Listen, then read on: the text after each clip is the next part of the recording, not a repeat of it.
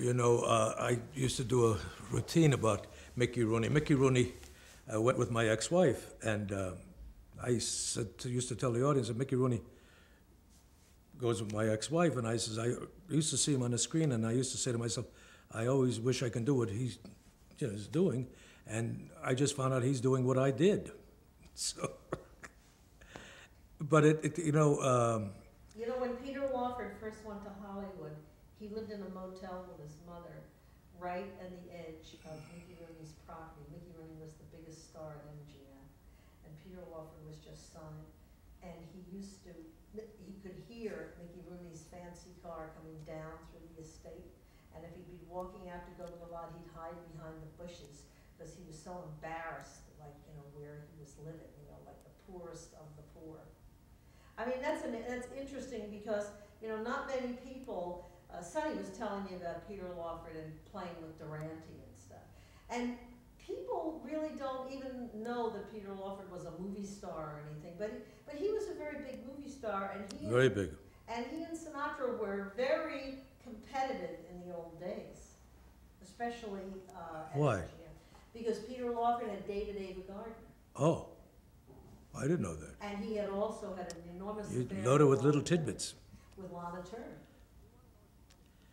You know I think, I know- think, you want to know what's funny? You were mentioning women that uh, quite a few people have had, you know, affairs with. Um, I, I find it hard to believe that you watch these beautiful women on the screen, that they were that easy. I mean, guys like Artie Shaw went and knocked off uh, Ava Gardner, Lana Turner, Gustave Vagelet, Evelyn Keyes. I mean, it's just, it was like nothing. Uh, or You these who- young, You know who told me why that was? Why? That little the four foot uh, uh, ten uh, dynamo Lillian Burns Sidney, who was married to George Sidney and signed all of them and was the drama coach. She made Ava. I, I did a whole show on her. She made Ava Gardner, Lana Turner, all of them. She was the drama coach. She signed everybody for Louis. Mayer.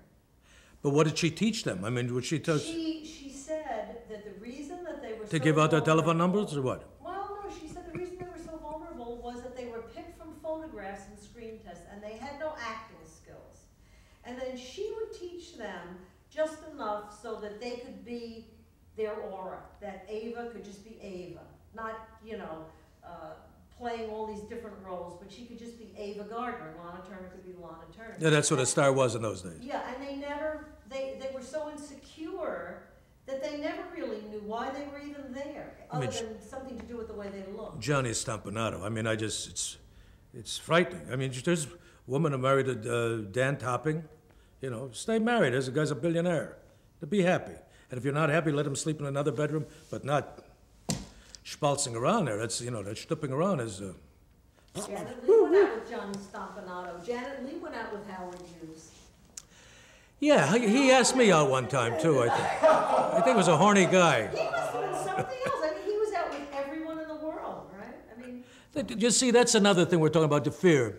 That was the position. These people fell in love with the, that he is there and he's and he can make me. And how bad do you want a career? Or how bad do you want to do anything? I just, I never, uh, so I can't understand. I never had that drive. I have never had that drive. what was the first date you ever played?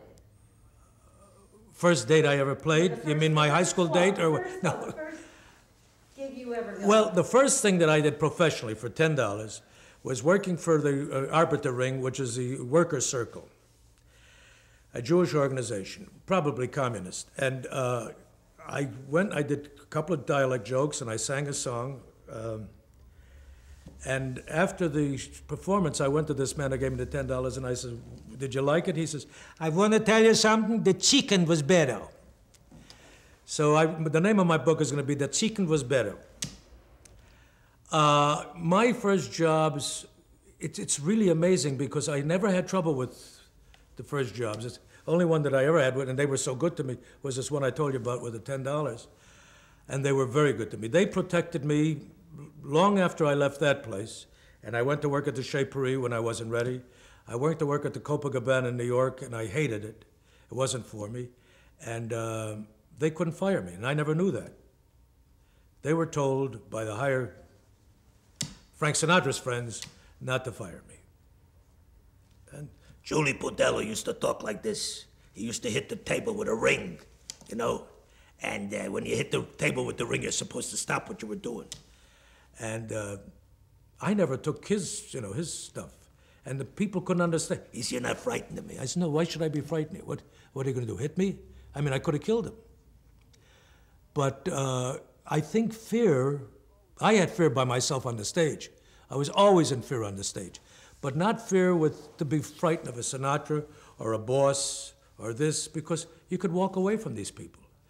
But I watched the biggest stars, and I mean the biggest, when Frank, they've just, they, they become rugs for him to step on.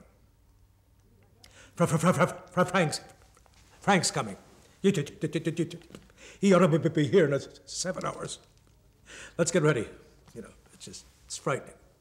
And I don't think Sinatra, and if he ever hears this, Sinatra never wanted that. He wanted inside, he wanted everybody to be his mother Dolly. His mother, who was the greatest lady in the world, used to say to him, cut it out, and bada boom boom, and he listened. That little boy listened. And I think that's the ability Barbara's got, his wife now. I think she's got the ability to say, cut it out. When, is there any footage of your uh, nightclub, you performing in a nightclub? Do you know of anybody who has any that I could put into the show? Yeah, I think there's some s- raw stuff around. I don't know. Because I'd love to do that. You know, there's a, it- your style was not like insulting people like Don Rickles or No. like Jerry Lewis. So No. you didn't, you never got into that kind of thing. You know, there's, a- there's. a I great- insulted the bosses.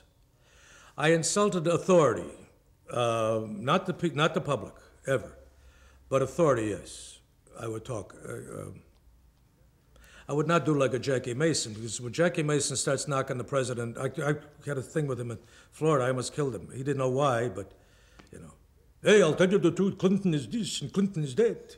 Did you see uh, what's her name, Paula Jones? This guy not only is deaf, he's blind too. Hey, this is the way it. is. He just talked to this story in the New Yorker that just came out on Sinatra, and Sonny King told me yesterday, it's absolutely the truth, that Sinatra hated Jackie Mason so much, he had said something to him once, that Jackie Mason, a couple of days later, was, it doesn't matter.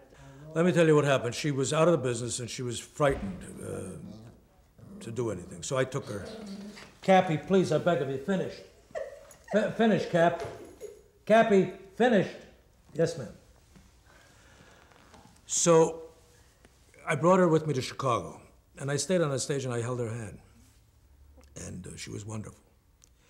Many years later, when I was having nervous breakdowns and everything, I got out of show business for a long time. I went back to the Desert Inn, and she was sitting there, and she held my hand. And it was um, wasn't tit for tat; it was hand for hand at that time.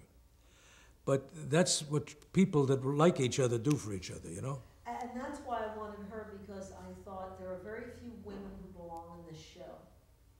But she does, you know, sure, if we had Martha Raye or people like that, but of the people who are living, she's one of the few women, I think, that was really in that scene, you know. Yeah, and she's a, she's a wonderful lady. You talk about Martha Raye, it's very interesting because I work with Martha Raye. Martha Raye was not a nightclub performer.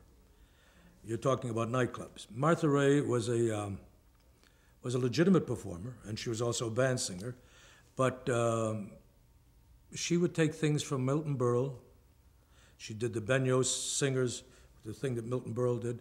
She, she was a good mimic. She would take things from different people to, to make up her uh, nightclub act. I remember because she would bring in young comics like myself, and whatever we would do, she would take little things.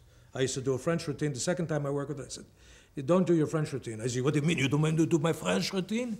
Now Martha's doing that, you know. So consequently, Martha to me was never a nightclub performer. But didn't she have quite a Vegas life in those days, like Toby Fields and, I mean? No, Oh, no,